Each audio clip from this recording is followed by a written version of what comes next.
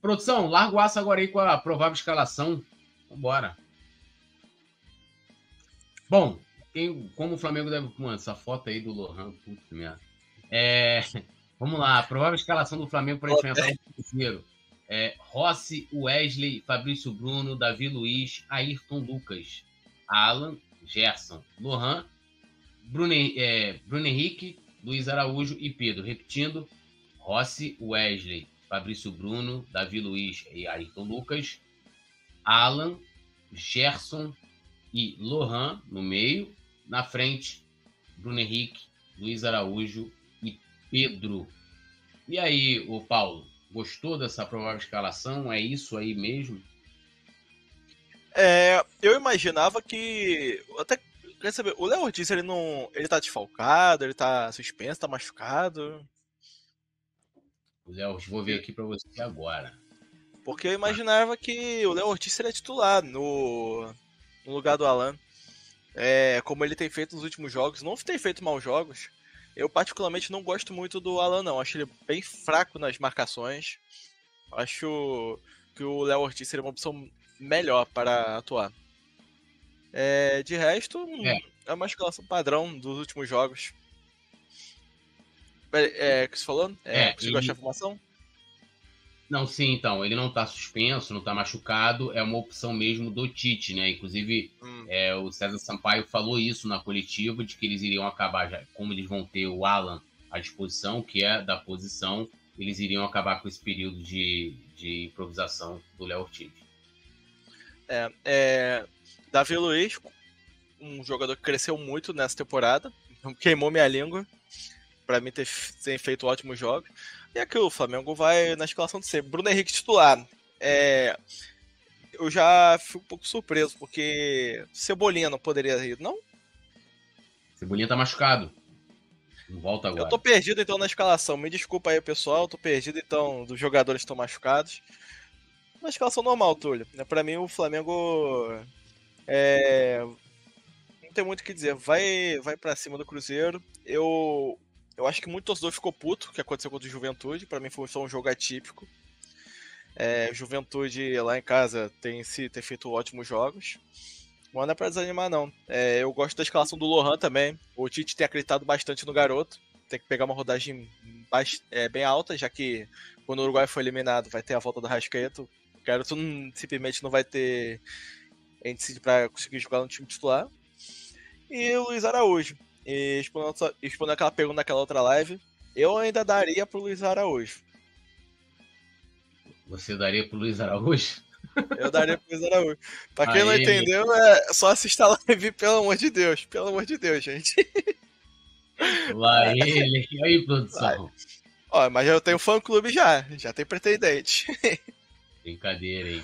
É, inclusive, inclusive é, falando aqui, né, que tipo, acabou colocando falando do Léo Ortiz, que não que, que vai estar no banco como opção, a mesma coisa foi a escolha né, de manter o Davi Luiz e tirar o Léo Pereira também. Né? Então, são opções do Tite, da comissão técnica. É... Então, assim, não, não, que os jogadores estejam com qualquer tipo de problema. Quero ver assim, aquele feijãozinho com arroz, a gente poderia debater se, né, você, no caso, já deu sua opinião sobre a questão da zaga, de, de manter o Davi Luiz e, e do Alan também e não colocar o Léo Pereira, né? No caso ali que seria foi a dupla de zaga titular. E aí entra a questão de que de fato o momento do Davi Luiz é melhor do que o momento do Léo Pereira, tá um pouco acima e vive uma, né, o último jogo entre aspas foi até poupado, né? Ficou no banco ali, não vai aguentar até pela idade 37 anos. Não vai aguentar ter uma sequência, né, de, de jogos aí pelo calendário insano é, de forma recorrente, então em algum momento ele vai ser é, colocado no banco para preservar mesmo e tal. Está retornando agora, então acho que hoje também se explica né, um pouco de que o Tite vê né, o, o, Davi Luiz como titular nesse momento, né? Vivendo em futebol, eu sempre defendo aqui, futebol, cara, joga quem está melhor. Joga quem está quem tá melhor. Né? Então, o, o Davi Luiz vem mostrando qualidade. Isso não quer dizer que o Léo Pereira né, esteja sendo um desastre, etc. Acho que é bom para o Flamengo. Você acaba ganhando opção e, e você Sim. tendo no banco um cara né, como o Léo Pereira, né, que tem uma qualidade absurda e que entrega, né? E, e joga bem ali, muito, faz, faz dupla muito bem com o Fabrício Bruno, né? A gente tem a manutenção do Ayrton Lucas ali na, na lateral esquerda, né? Não tem outra opção, mas o Ayrton Lucas que vem sendo contestado, não por todos, né? Mas tem gente que passa pano. Aí eu não passo, aí o pessoal fica, pô, tá, fica pegando no pé do cara. Não, pô, o cara, o cara, o cara tá jogando mal. tem que falar, pô. É, o cara não voltou bem de lesão, né? E aí a gente critica e faz as ponderações. Olha, o cara tá Inclusive, tá... muita gente tem reclamado que ele tem bloqueado quem fala mal dele nas redes sociais, hein, Túlio? É, mas aí é, é igual o amigo ali que não aguenta ouvir o contraditório e sai, porque assim, o, o cara voltou. É imune à crítica? Tipo assim, o cara faz uma partida. É lógico, seria desonesto eu chegar, você, pô, o cara voltou mal, sem ritmo de jogo, não tá 100% fisicamente, etc, etc. Não, e aí você chega ali, você faz a crítica sem considerar que o cara tá retornando de lesão. Você faz a crítica como se o cara tá jogando, é, é, é, é tendo várias partidas em sequência. Aí é desonestidade com o jogador, com o público, com todo mundo. Agora, tinha que falar, olha, o Ayrton Lucas, porra, não foi bem hoje. É, é claro, natural, porque, porra, o cara tá sem ritmo de jogo, tá retornando agora, periri parará. E, e ponto, cara. Assim, algo natural da vida, pô. Sabe? Tipo, pô, às vezes tem coisas que você faz que você é muito bom que você ficar muito tempo sem fazer. Quando você for voltar a fazer, tu vai fazer igual. Porque você vai precisar né, é, é, da, da, prática, né, para você fazer. É igual futebol. E aí o pessoal fica melindrado, mas sabe o que, que é isso? É, é, a, é a grande questão do. do. do. De, de, do jogador preferido, do jogador imune à crítica. Eu falo aqui direto, jogador que eu amo, Felipe Luiz. Não só o jogador, mas a pessoa. O Davi Luiz é um cara extremamente inteligente, um cara que você vê que quando ele fala de futebol, ele, ele, ele entende do que ele está falando. Né? E é muito bom quando você olha uma pessoa falando sobre determinado assunto e vê que a pessoa tem autoridade e capacidade para falar né, sobre determinada coisa. Mas todo mundo esquece que no, no, gol do River Plate na final da Libertadores de 2019, a falha é do Felipe Luiz, pô. Aí falam do, do Arão, principalmente, né? Do Gerson, quando estão com raiva e tal. Mas esquece que o Flamengo recuperou a bola no ataque do River Plate, ele foi sair e saiu errado. Não, não vamos criticar. Outro dia eu dei, eu dei uma nota pro Arrasca, pro Arrasca. Não, mas é o Arrasca. Beleza, é o Arrascaíta, mas hoje o Arrascaíta jogou bem. É igual a galera que quer apagar aí e fala: é, apagou tudo que o Gabigol fez no Flamengo. Apagou tudo. Né? Não. Mas se, se é... não fosse o que ele fez, né? Fala assim: não, pô, o Gabigol tem que renovar por tudo que ele fez no Flamengo. Né? É tudo muito 880, né? É... Até o jogo contra o Vasco, o Rascaeta não tava jogando bem no Flamengo, não, esse ano. Não, não tava. O Luiz Araújo. Luiz Araújo, até o jogo contra o Grêmio, não era titular. Tudo que quem tava jogando na ponta era o Gerson, né? E até, na época, eu até falei aqui, que é bom, exemplo prático. As análises que foram feitas do Luiz Araújo ali, que, que inclusive eu ponderei, né? Foi como se o Luiz Araújo tivesse numa sequência de ótimas atuações. E, é, era mentira. O Luiz Araújo entrou bem contra o São Paulo. Ele fez aquele gol, mal entrou, ele pum, entrou, fez o gol. Até fez uma boa partida ali, inclusive, até aquele momento, talvez a melhor apresentação do Flamengo na temporada do Tite até então. E aí ele só voltou a jogar bem contra o Grêmio. Ele perdeu posição, né? O, o, Tite preferiu colocar o Gerson por ali do que, do que voltar a dar oportunidade a ele como titular. E aí, quando ele, ele, ele faz dois gols contra o Grêmio, o cara virou uma sumidade. Não, é. E, pô, já temos que pensar na titularidade. E a gente aqui no pré-jogo, o Léo trazendo. O cara tava cento e tantos minutos sem participar de um gol. Ou seja, o cara não tava acrescentando nada ao Flamengo.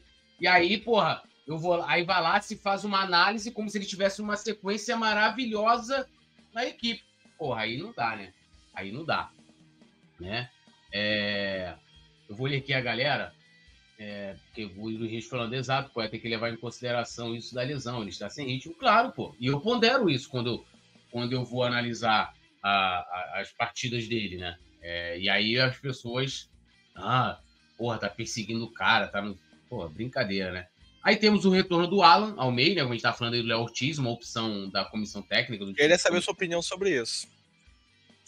Cara, assim, eu acho que o Léo Ortiz estava bem, né? Eu acho que em alguns momentos ele, por não ser especialista da posição, você acaba. É, porque é uma posição muito específica. Tem algumas posições no futebol, eu falo sempre isso aqui, né? Que são muito específicas, né? Você tem a lateral, ela, ela ali você tem atribuições muito específicas, né? De, dependendo da maneira com que você se forma, né? Como atleta, como lateral, você depende muito do físico, mas é, você, você tem que saber, você tem que ser especialista da posição.